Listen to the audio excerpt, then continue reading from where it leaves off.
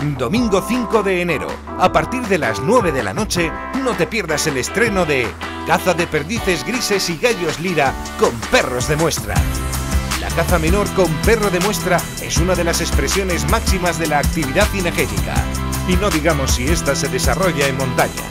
De esta modalidad precisamente seremos testigos en un nuevo programa, en el que iremos tras perdices grises y gallos lira en pagos franceses. En Cazavisión.